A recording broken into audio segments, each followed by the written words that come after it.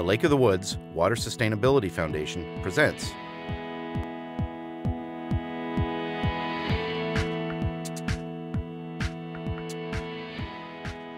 The Right Honourable John Turner is the 17th Prime Minister of Canada. And unilateral aggression repulsed before peacekeeping can be effective. and has been a resident of Lake of the Woods for almost 50 years. During his 25 year career in Parliament, Mr. Turner held the posts of Minister of Justice and later Finance. He was also responsible for negotiating boundary water treaties. Water is the most dynamic natural force in the world. We've been fortunate as Canadians to have a great share of that world water. And uh, we've now come to the stage in our history and in our climate and in population growth where we've got to consider the gift we've been given as a trust for future generations.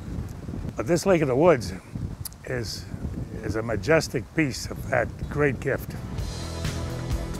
Lake of the Woods is a massive lake covering 1,500 square miles, 100 miles from north to south and 70 miles wide, with over 14,500 islands. It is the sixth largest lake spanning the border between Canada and the United States. Currently, there is a problem with Lake of the Woods. The water quality of the lake is threatened by blooms of blue green algae, resulting from high phosphorus concentrations introduced on both sides of the border. The levels are such that Minnesota has declared Lake of the Woods an impaired water.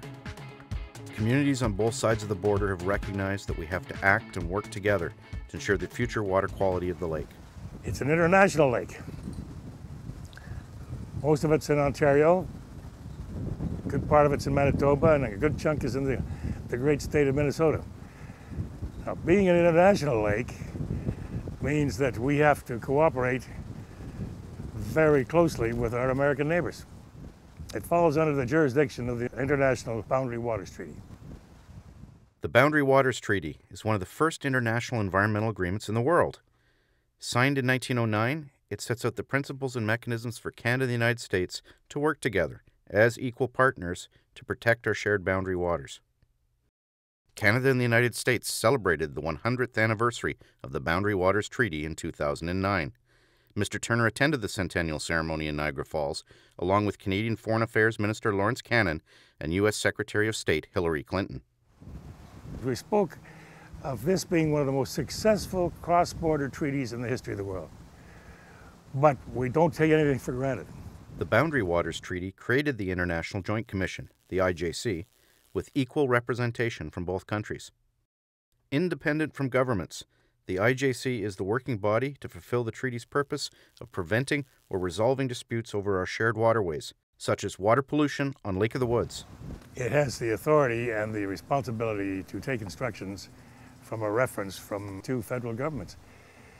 We've got that uh, reference now accepted by the Commission, but we got to continue, new generation, and we've got to continue pressing our democratic representatives in the legislature and the Canadian government. Non governmental organizations have a role to play in addressing the issues facing the lake, helping to create a climate to ensure its sustainability. Living in a free country doesn't mean we take things for granted and relax and think uh, it all happens automatically and we deserve it. Uh-uh. So voluntary organizations ought to become involved too with, with, with governments. We want to make sure it remains a topic of conversation. The next generation, the inheritors of the lake, will have a responsibility too. They will need to become engaged in the process to ensure the preservation of the lake.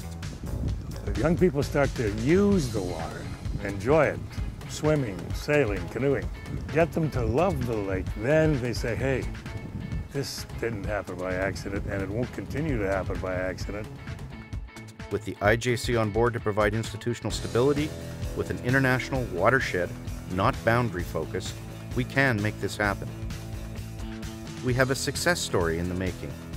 Communities and all levels of government have spoken. It's time to work together. So there's still an opportunity for us to preserve and enhance the gift we've been given. Give something back. Get involved.